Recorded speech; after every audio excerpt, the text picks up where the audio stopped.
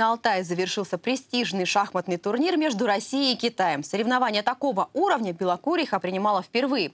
В сборную из Поднебесной вошли 8 юных интеллектуалов и почетный гость, четырехкратная чемпионка мира Хоу Фань, известная своей неординарной сильной тактикой. Между тем, российские спортсмены во многом превзошли соперников. Как это удалось? О впечатлениях от матча дружбы и новых перспективах шахматного спорта на Алтае поговорим с президентом Краевой Федерации шахмат Артемом Поломошновым. Здравствуйте. Здравствуйте. Как так получилось, что Белокуриха принимала такие серьезные соревнования? А, эти соревнования проводит фонд Тимченко э, совместно с Российской шахматной федерацией. Э, как известно, в 2017 году Алтайский край вошел э, в программу «Шахматы в школе», которая также финансируется фондом Тимченко, выиграв грант. Угу. И когда приезжали подводить первые итоги в августе 2017 года, мы достигли принципиальной договоренности с представителями фонда Тимченко, что Алтайский край примет участие э, в конкурсе на право проведения этого матча. То есть угу. полгода мы готовились к тому, чтобы поучаствовать в конкурсе. Слава угу. богу, выиграть удалось. И вот этот турнир приехал к нам на Алтай впервые угу. событие такого масштаба. Почему именно Россия и Китай? А, потому что, наверное, это две супердержавы, с одной стороны. С другой стороны, в последнее время а, в Китае очень активно развиваются mm. шахматы, а Россия всегда была во главе шахмат в мире, поэтому, наверное, он То есть э, китайцы формат. считаются сильными шахматистами? Да, Китай это очень сильный шахматист на сегодняшний день. В принципе, китайская сборная мужская и женская неоднократно были олимпийскими чемпионами и чемпионами мира. Ну, их тактика от нашей как-то отличается? Ну, в шахматах одна тактика, поэтому не думаю, что сильно отличается ну, не видела чего-то такого, чтобы они могли сделать, или чего наши не могут, или наоборот. Ну, может, скорость игры? Нет, нет. Так, хорошо. Насколько серьезным был отбор игроков именно в нашу сборную? Там были только представители Алтайского края или со всей России? А в нашу сборную представители были со всей России. Угу. Я очень горжусь тем, что попала одна представительница Алтайского края, Виктория Лоскутова. Это школьница из Барнаульской гимназии 124. А все остальные ребята были и из Москвы, и из Кемерово. Но это был действительно очень сильный состав. И отбирали, там были и чемпионы мира в своих возрастах. То есть у нас был очень сильный состав. Турнир был вообще напряженным?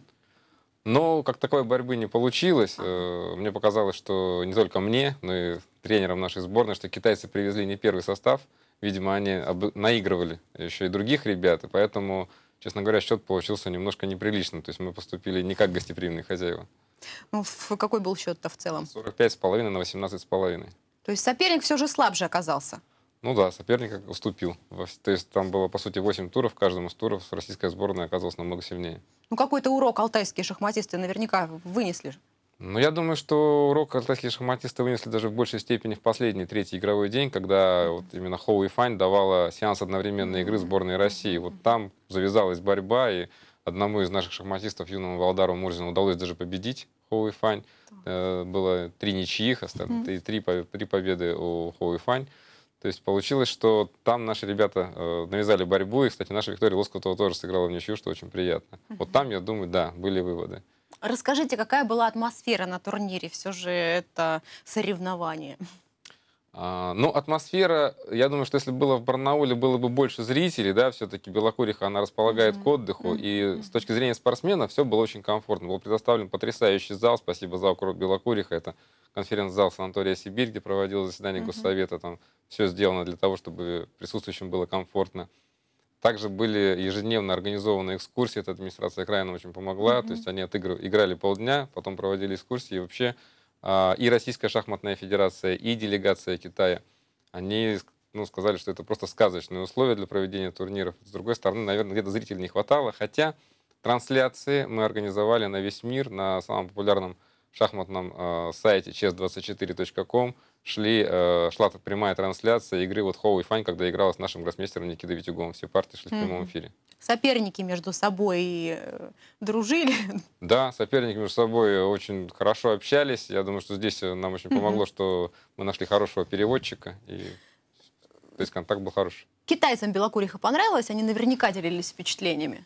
Да, китайцам Белокуриха понравилось, и это неоднократно отмечала и Хоу, и Фани, и другие представители. Uh-huh. Вообще мы знаем, что сегодня с точки зрения экологии в Китае все не очень благополучно обстоит, потому что ну, мы знаем, что у них идет очень бурный рост вал внутреннего продукта, это сопровождается повышенными выбросами. Здесь Белокуриха это просто ну, экологически чистейшее место, uh-huh. китайцы были в полнейшем восторге. Белокуриха им очень понравилось. Я думаю, что через э, репортажи, которые были опубликованы на сайте Российской шахматной федерации, фоторепортажи, э, вся страна, и не только страна, поскольку есть англоязычная версия сайта, все узнали о том, насколько у нас есть прекрасный курорт Белокуриха, насколько здорово там можно отдохнуть и зарядиться энергией.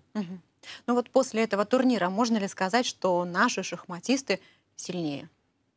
Я бы так не говорил, потому что если бы мы увидели первую сборную Китая, Мгм. все было бы немножко по-другому. Ну, по Мгм. крайней мере, более напряженно. Мгм. Ну турнир будет второй? Но это уже был пятый турнир, шестой турнир будет. Нет, Не в имеется в виду крае. чемпионат. э, Он проводился впервые в нашем крае. Матч дружбы проводил- проводился впервые в нашем крае, но он каждый год мигрирует, поэтому А. в нашем крае больше не будет. Мгм. В следующем году он куда-то переедет. Неизвестно. куда. Неизвестно пока куда. Мгм. А, вот такая общая победа, она открывает какие-то новые перспективы для алтайского а, спорта, для федерации шахмат и для конкретных спортсменов. Ну, я бы говорил о том, что э, вот я бы здесь называл общей победой тот уровень турнира, который мы смогли организовать, потому что это Мгм. был все-таки матч дружбы, и со спортивной точки зрения он, наверное, представлял не самую большую ценность. М. Он представлял ценность именно вот мы хотели что показать, что в Алтайском крае умеют организовывать турниры, мы хотели Мгм. показать курорт Белокуриха, это все было сделано, все это оценили. Э, Сегодня со стороны Российской шахматной федерации, Федерации шахмат Алтайского края предложено проведение нескольких очень крупных престижных турниров, и мы рассматриваем это. Кроме того, мы переговорили с китайцами, и в ближайшее время наша шахматная федерация подпишет соглашение с Федерацией шахмат Мгм. провинции Харбин и с Федерацией шахмат провинции Цинхуандао. И я думаю, что мы начнем проводить такие турниры, когда наши шахматисты поедут туда, их шахматисты уже планируют осенью этого года приехать сюда, поэтому думаю, что да, это открывает новые перспективы именно в плане сотрудничества между нашими странами, в плане открытия новых горизонтов. Мгм. В Алтайском крае этот спорт живет? В Или есть Алтайском- какие-то серьезные проблемы, которые вот сегодня срочно нужно решать? В Алтайском крае я считаю, что каждый год мы очень активно растем. То есть э, по динамике развития Федерация Алтайского края признана лучшей в России, поэтому вот я бы сегодня грех на что-то жаловаться. Мы идем вперед, мы идем вперед достаточно большими шагами. Думаю, Мгм. что только надо ставить новые цели не останавливаться. Знаете, как только остановился, тебя тут же обошли, поэтому Мгм. не вижу Ну, проблем. молодежь тянется, родители понимают, что это перспективно, или, быть может, э, не модно сейчас заниматься шахматами. На мой взгляд, шахматами сейчас очень модно Мгм. заниматься, и родители действительно вот э, прон- проникаются этой идеей, что ребенку надо давать шахматы, потому что шахматы помогают в целом по жизни. Мы это видим как на примере того, что вот у нас реализуется проект «Шахматы в школе», в котором уже участвует 120 школ из 42 муниципалитетов Мгм. Алтайского края.